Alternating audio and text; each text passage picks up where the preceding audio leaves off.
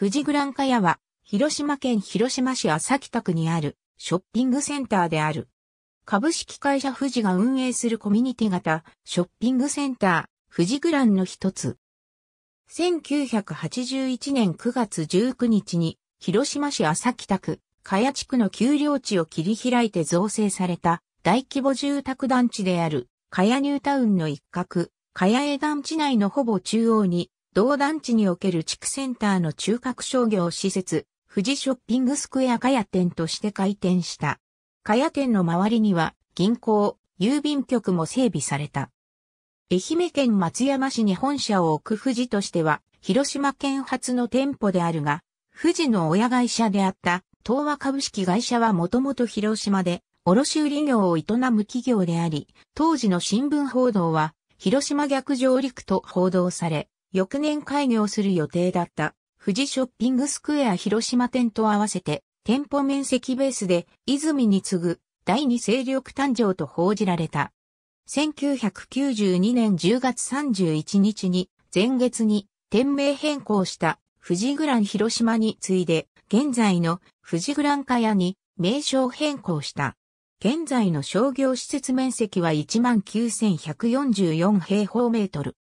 1979年7月9日、カヤニュータウンを手掛ける広島県住宅供給公社は、同団地のショッピングセンターの各テナントを富士にすると内定した。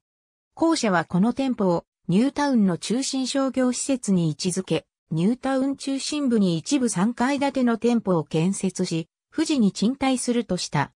当初の予定では、売り場面積14,234平方メートルの総合スーパーを1980年10月にオープンする意向で、そのうち3000平方メートルを専門店として賃貸するとした。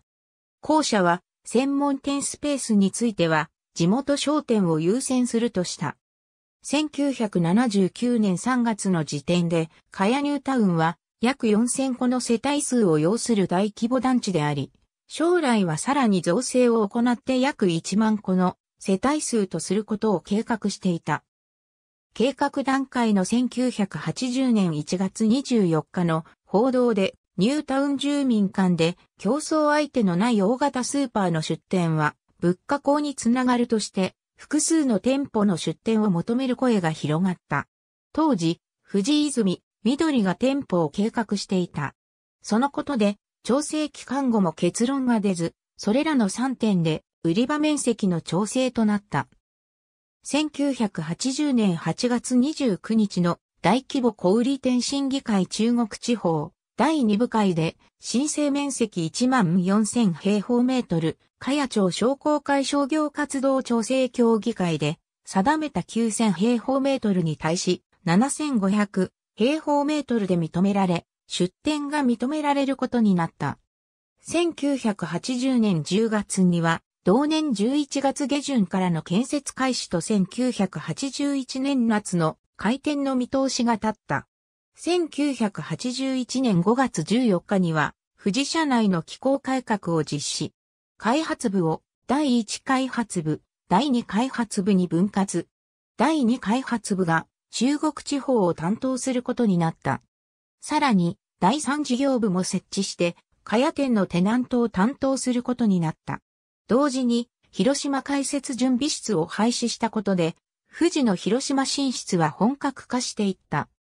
1981年9月1日付の中国新聞報道で、誕生時点で広島市内6番目の店舗面積を持ち、40店のファッション関係のテナントが入店。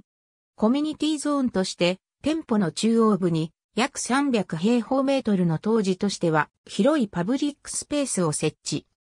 2階部分にはカラーマットを敷き詰めた約100平方メートルのちびっこ広場を設置した。また1981年9月12日付の中国新聞報道で富士出店による同業間での競争激化が報じられ、共に広島駅周辺の問屋をルーツに持つ泉と富士のライバル競争と報道された。これまで地元商店の影響を考慮し広島出店を控えていた東和らしく、茅屋店の店舗構造を入り口周辺に専門店を置き、直営部分は奥の方に設置。また、専門店の賃料も赤字にならない範囲で安価にし、これまでの地元商店に最大限の配慮を行った。1981年9月19日に富士ショッピングスクエアカヤ店は開店。約4万人の客が来店した。2019年夏に店舗、等やサイン、立看板等を新ロゴに刷新した。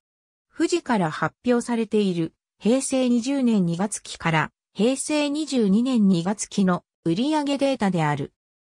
平成23年2月期以降4月発表分は店舗別のデータは公表されていない。なお、売上額の単位は100万円である。ありがとうございます。